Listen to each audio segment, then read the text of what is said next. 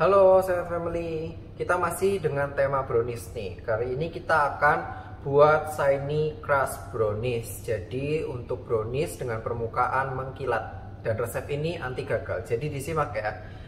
Yang bisa pertama kita campur adalah chef made dark compound. Lalu kita campur dengan minyak.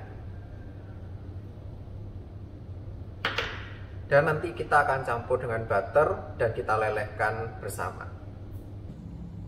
Coklat dilelehkan sampai seperti ini ya saya family. Jadi benar-benar lereh dan larut antara mentega dan coklatnya. Jika coklat sudah siap, maka langkah berikutnya kita akan masukkan cocoa powder dan campurkan dengan tepung terigu. Kita akan kocok 3 telur dan juga kis gula halus sampai dia berbuih. Telurnya satu, dua, dan tiga. Jika sudah, kita masukkan kis gula halus dan kita akan mixer sampai dia berbuih.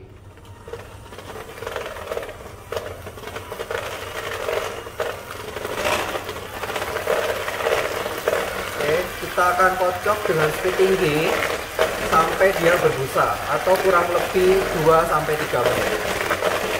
Oke, kocok sampai semua telur berbuih. Jika sudah, kita hentikan mixernya. Cukup tidak perlu sampai mengental dan mengembang terlalu sempurna. Kunci dari shiny brownies adalah larutnya semua gula ke dalam telur. Jadi sangat penting kita menggunakan kis gula halus karena gula halus akan membantu setiap bahan menjadi homogen lebih cepat. Selain menggunakan kis gula halus, penting juga untuk menggunakan bahan berkualitas lainnya seperti coklat kompon yang kita telah lelehkan. Kita bisa langsung campur saja ke dalam larutan telur yang sudah berbusa. Lalu kita aduk. Pengadukan bisa bebas, tidak perlu dengan cara fold in atau cara melipat. Maka kita bisa campurkan semua bahan keringnya.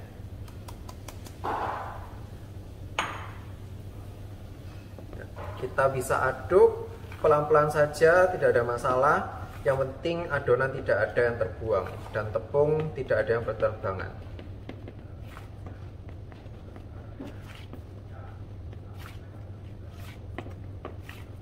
Oke, kita aduk sampai rata. Shiny brownies biasanya sebelum di oven sudah sangat terlihat mengkilat. Jika semua bahan sudah tercampur dengan rata, kita bisa tempatkan di loyang 10 x 30 dengan tinggi kurang lebih 5 cm. Untuk brownies usahakan loyang tidak terlalu tinggi.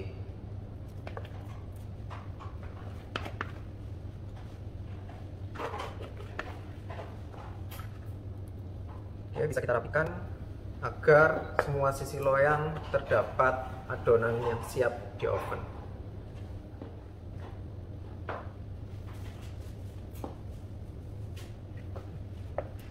Untuk topping brownies dapat disesuaikan dengan selera Anda. Namun jika Anda menggunakan topping yang tahan bakar seperti coklat stick dari Chef Made, Anda bisa memasukkannya sebelum masuk ke dalam oven. Kita tata sesuai dengan selera. Berikut adalah hasil Shiny Crush Brownies ala Chef Made. Untuk hasil yang maksimal, pastikan gunakan bahan premium dari Chef Made dan juga pastikan Anda mengocok telur dan juga gula hingga larut dan juga berbuih. Nah, sedikit tips nih untuk Chefmate Family di rumah. Jika ingin menghilangkan tekstur retak-retak di atas brownies, Chefmate Family bisa mengocok telur dan gula lebih lama lagi. Namun, teksturnya akan berbeda karena akan menghilangkan tekstur bawaan asli dari browniesnya. Begitu Chefmate Family.